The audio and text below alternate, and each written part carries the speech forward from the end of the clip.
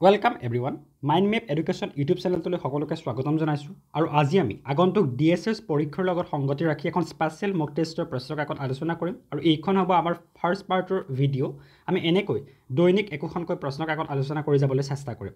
আজি আমাৰ আলোচনাৰ বিষয়বস্তু হৈছে Indian history Indian geography general science English grammar world general knowledge আৰু কিছুমান মিছেলিনিয়াছ টপিক মিছেলিনিয়াছ টপিক বুলি কোৱাৰ লগে লগে ইয়াত কইন কাৰেঞ্চি মিনাৰেলছ মেটেলছ সেই টপিকখিনি ইনক্লুড কৰা হৈছে।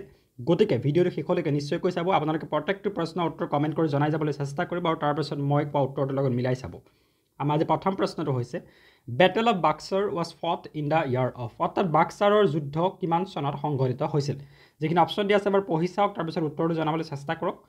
কাৰেক্ট এনচাৰ হ'ব সোতৰশ চৌষষ্ঠি চনৰ টুৱেণ্টি ছেকেণ্ড অক্টোবৰ তাৰিখে সোতৰশ চৌষষ্ঠি চনৰ বাইছ অক্টোবৰ তাৰিখে বেটেল অফ বাক্সাৰ সংঘটিত হৈছিল।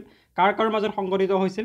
বেটেল অফ বাক্সাৰ সংঘটিত হৈছিল British East India company British East India company আছিলে এফালে আৰু তেওঁলোকে কাৰ লগত যুদ্ধ কৰিছিলে? ভাৰ্চেছ তেওঁলোকে যুদ্ধ কৰিছিলে এটা এলায়েন্সৰ লগত এটা অৰ্থাৎ তিনিটা পাৰ্টীয়ে এটা এলায়েন্স কৰিছিল ব্ৰিটিছৰ লগত যুদ্ধ কৰিবৰ কাৰণে। সেই এলায়েন্সটোত এজন ব্যক্তি আছিলে মীৰ কাছিম। এজন ব্যক্তি আছিলে মীৰ কাছিম। দ্বিতীয়জন ব্যক্তি আছিলে চুজা উ দৌলা আৰু তৃতীয়জন ব্যক্তি আছিলে শ্বাহ আলম টু। অৰ্থাৎ ব্ৰিটিছে কাৰ লগত যুদ্ধ কৰিছিল? ব্ৰিটিছে মীৰ কাছিম চুদাউজদৌল্লা আৰু শ্বাহ আলম টুৰ কম্বাইন ফ'ৰ্চৰ লগত যুদ্ধ কৰিছিল আৰু এই যুদ্ধখনত ব্ৰিটিছ ইষ্ট ইণ্ডিয়া কোম্পেনী জয়ী হৈছিল। Question number two Nathu La pass is situated in which of the following range অৰ্থাৎ নাথুলা গিৰিপথটো কোনটো পৰ্বতমালাত আছে বুলি কৈছে? উত্তৰটো আপোনালোকে কমেণ্ট কৰি জনাবলৈ চেষ্টা কৰক কিন্তু তাৰ আগতে আপোনালোকে জানি ল'ব লাগিব নাথুলা গিৰিপথটোৱে কাক কাক সংযোগ কৰিছে। নাথুলা গিৰিপথটোৱে ভাৰতৰ ছিকিম ৰাজ্যৰ লগত তিব্বত অংশক সংযোগ কৰিছে। তিব্বত মানে আমি চাইনৰ এটা অট'নমাছ ৰিজন আমি গম পাওঁ। অৰ্থাৎ নাথুলা গিৰিপথটোৱে ছিকিম আৰু তিব্বতক সংযোগ কৰিছে। আৰু এই গিৰিপথটো আছে হিমালয় ৰেঞ্জত আমি এনেকৈ কিছুমান ইম্পৰ্টেণ্ট গিৰিপথৰ সম্পৰ্কে জানি থোৱাটো খুব বেছি ইম্পৰ্টেণ্ট কিছুমান ইম্পৰ্টেণ্ট গিৰিপথ কোনখিনি? চিপকিলা পাছ। চিপকিলা পাছৰ বিষয়ে আমি জানি থোৱাটো খুব বেছি দৰকাৰী হয়নে? আমি কিছুমান ৰেঞ্জৰ বিষয়ে জানি থোৱাটো দৰকাৰী। আমাক তৃতীয় প্ৰশ্নটো সুধিছে on the bank of which of the following river Ajmer is situated অৰ্থাৎ কোনখন নদীৰ পাৰত আজমেৰ চহৰখন অৱস্থিত বুলি কৈছে। আমি জানিব লাগিব আজমেৰ চহৰখন ক'ত আছে? আজমেৰ চহৰখন আছে ৰাজস্থানত। এতিয়া কথাটো হ'ল ৰাজস্থানৰ মাজেদি কোনখন নদী পাৰ হৈ গৈছে? ৰাজস্থানৰ মাজেদি লুনি নদীখন পাৰ হৈ গৈছে। গতিকে option A will be the correct answer question number four New York city is situated on the bank of which river অৰ্থাৎ নিউয়ৰ্ক চহৰখন কোনখন নদীৰ পাৰত অৱস্থিত বুলি কৈছে? কাৰেক্ট এনচাৰ কি হ'ব? কমেণ্ট কৰি জনাবলৈ চেষ্টা কৰক ইয়াৰ শুদ্ধ উত্তৰটো হ'ব হাটছন নদীৰ পাৰত নিউয়ৰ্ক চহৰখন অৱস্থিত। Question number five what is the currency of U A E অৰ্থাৎ ইউনাইটেড আৰব এমিৰেটছৰ মুদ্ৰাৰ নামটো সুধিছে। কাৰেক্ট এনচাৰ কি হ'ব?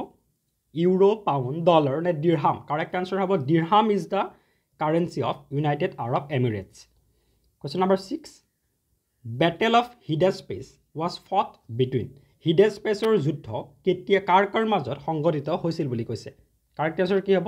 কাৰেক্ট এনচাৰ হ'ব আলেকজেণ্ডাৰ আৰু পৰুৰ মাজত সংঘটিত হৈছিল বেটেল অফ হিডেস্পেচ এইটো আমি জানো। হিডেস্পেচ এখন নদীৰ নাম। এই নদীখনৰ পাৰত যুদ্ধখন হোৱাৰ কাৰণে বেটেল অফ হিডেস্পেচ বুলি কোৱা হয়। এই যুদ্ধখন সংঘটিত হৈছিল তিনিশ ছাব্বিছ বি চি। গতিকে প্ৰশ্ন কৰিব পাৰে কিমান চনত সংঘটিত হৈছিল। Question number seven Aizawl is situated on which of the following river bank অৰ্থাৎ কোনখন নদীৰ পাৰত আইজল চহৰখন অৱস্থিত বুলি কৈছে? এতিয়া আমি প্ৰথমতে জানিব লাগিব যে আইজলখন ক'ত আছে? আইজলখন আছে আমাৰ নৰ্থ ইষ্টত এতিয়া নৰ্থ ইষ্টৰ মাজেদি হোৱাংহো নদীখন পাৰ হৈ গৈছে জানো? ডেফিনেটলি নাই যোৱা। ইৰাৱতী নদীখন ডেফিনেটলি পাৰ হৈ যোৱা নাই।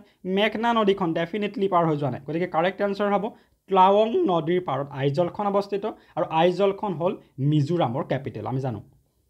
Question number eight what is the synonym of kin kin ৱৰ্ডটোৰ সমাৰ্থক শব্দ কি বুলি কৈছে? এতিয়া সমাৰ্থক শব্দ এটা জানিবৰ কাৰণে আমি প্ৰথমতে শব্দটোৰ অৰ্থ জানিব লাগিব। কিন শব্দটোৰ অৰ্থ হৈছে আগ্ৰহী কিবা এটা বিষয়ত ইণ্টাৰেষ্টেড আৰু ইয়াৰ সমাৰ্থক শব্দ কি হ'ব? এগৰ এগৰ মানে কি? এগৰ মানে হৈছে ইচ্ছুক কিবা এটা কাম কৰিবলৈ ইচ্ছা কৰা। Question number nine what is the adjective of history history ৱৰ্ডটোৰ adjective ফৰ্মটো কি হ'ব বুলি কৈছে?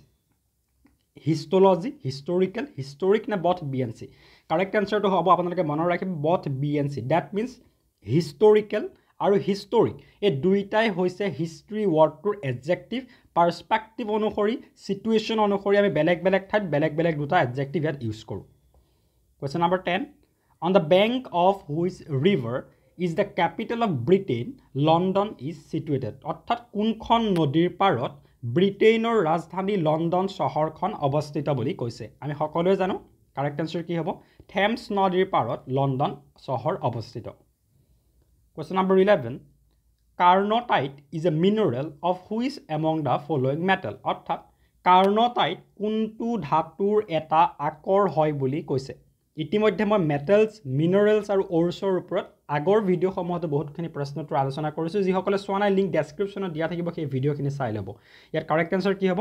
কাৰ্ণটাইট হৈছে ইউৰেনিয়াম ধাতুৰ এটা আকৰ question number twelve what is the comparative degree of fresh এতিয়া ডিগ্ৰী তিনিটা থাকে positive degree comparative degree and superlative degree এতিয়া কথাটো হ'ল ফ্ৰেছ ৱৰ্ডটোৰ কম্পেৰেটিভ ডিগ্ৰী কি হ'ব? কাৰেক্ট এনচাৰ হ'ব fresher is the comparative degree of fresh question number thirteen which of the following is the most abundant dissolve ion in the ocean অৰ্থাৎ সাগৰৰ পানীত আটাইতকৈ বেছিকৈ দ্ৰৱীভূত হৈ থকা আয়ন কোনটো বুলি কৈছে? আপোনালোকে জানিবলগীয়া আন কেইটামান তথ্য হ'ল সাগৰৰ পানীত আমি মূলতঃ ছটাকৈ আয়ন পাওঁ। Six ions are found in ocean water mainly তাৰ বাদেও সৰু সুৰা কিছুমান আয়ন থাকিব পাৰে। সেই আয়নখিনি এফালৰ পৰা হৈছে chloride ion sodium ion sulphate ion magnesium ion calcium ion and potassium ion এতিয়া আমাক অপশ্যনত এই ছটাৰ ভিতৰত কোনটো দিয়া আছে? আমাক অপশ্যনত দিয়া আছে ক্ল'ৰিনৰ কথা। গতিকে chloride ion will be the correct answer question number fourteen which of the following was the first fundamental particle to be discovered অৰ্থাৎ তলৰ কোনটো পাৰ্টিকুল প্ৰথমতে উদ্ভাৱন কৰা হৈছিল? প্ৰথমতে ডিছকভাৰ কৰা হৈছিল বুলি কৈছে। কাৰেক্ট এনচাৰ কি হ'ব? Electron was the first fundamental particle to be discovered in the year of eighteen hundred and ninety seven ওঠৰশ সাতানব্বৈ চনত ইলেক্ট্ৰন ডিছকভাৰ কৰা হৈছিল। প্ৰশ্ন সুধিব পাৰে কোনে ইলেক্ট্ৰন ডিছকভাৰ কৰিছিল? কাৰেক্ট এনচাৰ হ'ব J J Thomson. J J থমছনে ওঠৰশ সাতানব্বৈ চনত ইলেক্ট্ৰন ডিছকভাৰ কৰিছিল। Question number fifteen what do we call the reactions in which heat is generated অৰ্থাৎ তেনেকুৱা ধৰণৰ বিক্ৰিয়াবিলাকক আমি কি নাম দিওঁ? যিবিলাক বিক্ৰিয়াত তাপ জেনেৰেট হয় তাপ প্ৰডিউচ হয় বুলি কৈছে। কাৰেক্ট এনচাৰ হ'ব এক্স'থৰ্মিক ৰিয়েকশ্যন এক্স'থৰ্মিক ৰিয়েকশ্যন মানে অসমীয়াত মে বি মোৰ ভুল হ'ব পাৰে তাপবৰ্জী বিক্ৰিয়া বুলি কয় চাগে হয়নে? আৰু এণ্ডথৰ্মিক ৰিয়েকশ্যনটোক তাপগ্ৰাহী বিক্ৰিয়া বুলি কয় চাগে অসমীয়াত উল্টা পুল্টা হ'ব পাৰে। বাট এটা কথা মনত ৰাখিব এক্স'থৰ্মিক ৰিয়েকশ্যনত হিট প্ৰডিউচ হয়। হিটটো কি কৰে? প্ৰডিউচ কৰে। আৰু এণ্ডথৰ্মিক ৰিয়েকশ্যনত সিহঁতে হিটটো একচেপ্ট কৰে। হ'লনে? বুজি পাইছে নিশ্চয়কৈ? Question number sixteen which among the following is also' known as white gold তলৰ কোনটোক বগা সোণ বুলি কোৱা হয়? যিখিনি অপশ্যন দিয়া আছে আপোনালোকে পঢ়ি পেলাই শুদ্ধ উত্তৰটো জনাবলৈ চেষ্টা কৰক। হোৱাইট গ'ল্ড বুলি কোৱা হয় প্লেটি নামক। গতিকে option C will be the correct answer question number seventeen Moplah revolt took place in অৰ্থাৎ মফলা বিদ্ৰোহ ক'ত সংঘটিত হৈছিল বুলি কৈছে। এতিয়া ক'ত সংঘটিত হৈছিল সেইটো জনাৰ পূৰ্বে আমি এটা কথা জানি ল'ব লাগিব মফলা বিদ্ৰোহ কেতিয়া সংঘটিত হৈছিল? ঊনৈছশ একৈছ চনত সংঘটিত হৈছিল মফলা বিদ্ৰোহ। ক'ত সংঘটিত হৈছিল? কেৰেলাত সংঘটিত হৈছিল। Question number eighteen which of the following is a non metallic mineral তলৰ কোনটো এটা নন মেটলিক মিনাৰেল বুলি কৈছে? নন মেটলিক মিনাৰেল মানে হৈছে সেই মিনাৰেলটোৰ পৰা আমি কোনো মেটেল নিষ্কাশন কৰিব নোৱাৰোঁ কোনো মেটেল আমি প্ৰডিউচ কৰিব নোৱাৰোঁ। যিখিনি অপশ্যন দিয়া আছে কাৰেক্ট এনচাৰ হ'ব মাইকা। মাইকাৰ পৰা কোনো আমি ধাতু নিষ্কাশন কৰিব নোৱাৰোঁ। That's why mica is call a non metallic mineral question number nineteen the smell of the L P G gas is because of which of the following L P G gas অৰ্থাৎ আমাৰ যিবিলাক ঘৰৰ যিবিলাক cylinder use কৰোঁ liquefied petroleum গেছৰ সেই চিলিণ্ডাৰবিলাক যদি আমি বহু টাইম খুলি থওঁ তাৰ পৰা আমি এটা গোন্ধ পাওঁ। এতিয়া কথাটো হ'ল সেই গোন্ধটো কিহৰ কাৰণে আমি পাওঁ? কিহৰ কাৰণে সেই গোন্ধটো পাওঁ? সেইটো জনাৰ পূৰ্বে আমি জানিব লাগিব এল পি জি গেছটোনো কি হয়? আপোনালোকে মনত ৰাখিব এল পি জি গেছটো হৈছে প্ৰপেন প্লাছ বিউটেন অৰ্থাৎ প্ৰপেন আৰু বিউটেন গেছ থাকে এল পি জি গেছৰ চিলিণ্ডাৰ এটাত। কিন্তু ডাঙৰ কথাটো হ'ল প্ৰপেন আৰু বিউটেন গেছৰ কোনো গোন্ধ নাই। প্ৰপেন আৰু বিউটেন গেছৰ কোনো গোন্ধ নাই। ডেট মিনছ অৰ্ডাৰলেছ গেছ হয় সিহঁতবোৰ। গতিকে এল পি জি চিলিণ্ডাৰত ইথাইল মাৰ্কেপটান নামৰ এটা এডিটিভ এড কৰা হয় যিটো মিক্স কৰি দিয়াৰ লগে লগে তাৰ পৰা এটা গোন্ধ আহে। Question number twenty who wrote the book a gift to monotheists a gift to monotheists নামৰ গ্ৰন্থখন কোনে ৰচনা কৰিছে? মনথিষ্ট ৱৰ্ডটোৰ মিনিংটো হৈছে একেশ্বৰবাদী। তাৰমানে হৈছে যিয়ে এজন মাত্ৰ ঈশ্বৰক বিশ্বাস কৰে। আৰু এই গ্ৰন্থখন ৰচনা কৰিছিল Raja Rammohan Roy. Question number twenty one what is the capital of Goa গোৱাৰ কেপিটেল কি বুলি কৈছে? আপোনালোকে যদি পূৰ্বৱৰ্তী বৰ্ষৰ প্ৰশ্ন কাকতসমূহ লক্ষ্য কৰে তেতিয়া আপোনালোকে দেখা পাব তাত ইণ্ডিয়ান ষ্টেটৰ কেপিটেলৰ ওপৰতো এটা দুটা প্ৰশ্নোত্তৰ অহা দেখা পোৱা যায়। গতিকে গোৱাৰ ৰাজধানী হ'ব পানাজী চহৰ।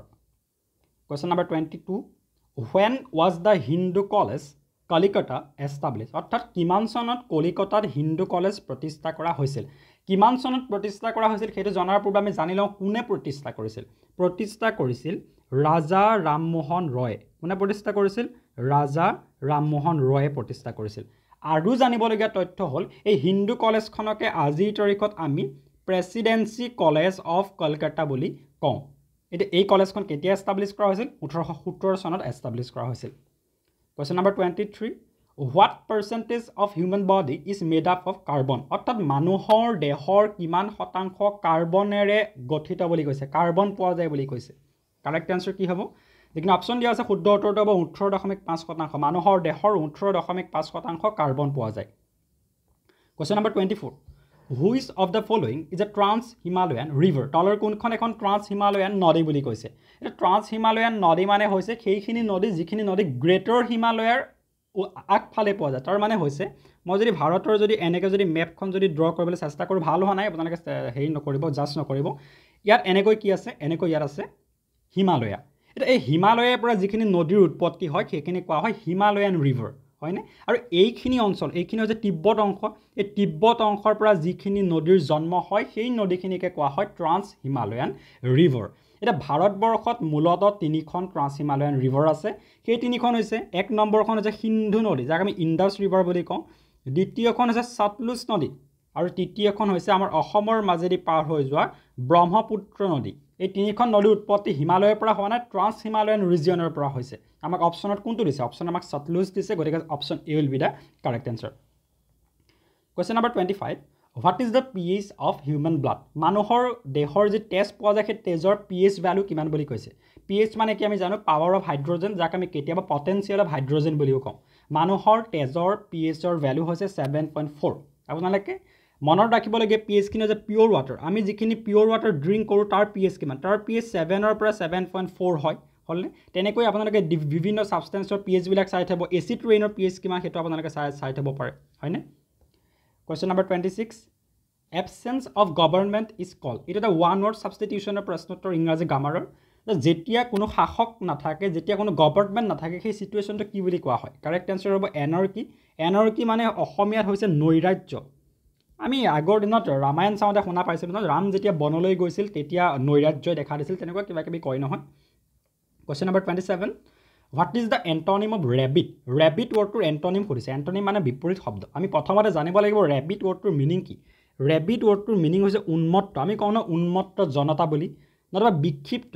নতুবা কি হ'ব? বিক্ষিপ্ত। আৰু ইহঁতৰ অপজিট ৱৰ্ডটো কি হ'ব? চবৰ চবৰ ৱৰ্ডটোৰ অসমীয়া মিনিং হৈছে শান্ত। চবৰ মানে কি? শান্ত। নতুবা সংযমী। আমাক কয় নহয় সংযমী হ'বলৈ শিক বুলি কয় এনেকুৱা কিবা কথা। গতিকে this will be the correct answer question number twenty eight what is the opposite gender of hart hart ৱৰ্ডটোৰ opposite gender বিপৰীত লিংগ কি হ'ব? এতিয়া হাৰ্ট ৱৰ্ডটোৰ মিনিং কি? হাৰ্ট ৱৰ্ডটোৰ মিনিং হৈছে মেল ডিয়েৰ গতিকে তাৰ অপজিট ৱৰ্ড হ'ব ফিমেল ডিয়েৰ ফিমেল ডিয়েৰটোক আমি কি বুলি কওঁ ইংৰাজী হিণ্ট বুলি কওঁ।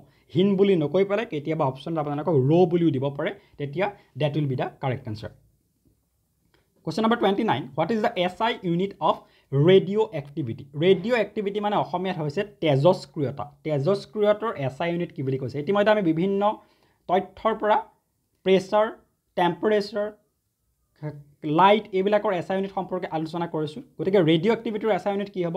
Becquerel is the S I unit of radioactivity candela car S I unit candela হৈছে লুমিনাছ ইণ্টেঞ্চিটি আপোনালোকে মনত ৰাখিব লুমিনাছ ইণ্টেঞ্চিটিৰ এছ আই ইউনিট কি বুলি যদি কয় কাৰেক্ট এনচাৰ হ'ব candela question number thirty which of the following river is also' known as Vriddhaganga কোনখন নদীক বৃদ্ধগংগা বুলিও কোৱা হয়? এই বৃদ্ধ গংগাখনকে দক্ষিণৰ গংগা বুলিও কোৱা হয় দক্ষিণ গংগা বুলিও কোৱা হয়। ৰিভাৰখন হৈছে গোদাবৰী। ছাউথ ইণ্ডিয়াত পোৱাৰ কাৰণে ইয়াক দক্ষিণ গংগা বুলিও কোৱা হয় আৰু বৃদ্ধ গংগা বুলি কোৱাৰ কাৰণটো হ'ল এইখন এখন দীঘল নদী হয় ছাউথ ইণ্ডিয়াৰ হয়নে? গতিকে option will be the correct answer গতিকে আজি আমি ত্ৰিছ টকাৰ প্ৰশ্নটো আলোচনা কৰিলোঁ। এই পি ডি এফটো আপোনালোকে আমাৰ অফিচিয়েল টেলিগ্ৰাম চেনেলৰ পৰা ডেফিনেটলি ডাউনলোড কৰি ল'ব পাৰিব। ডেছটো ফ্ৰী অফ কষ্ট কোনো পেইড পি ডি এফ নহয়। গতিকে আজিলৈ ইমানে যদি কিবা ডাউট আছে কমেণ্ট কৰি সুধিব। ধন্যবাদ।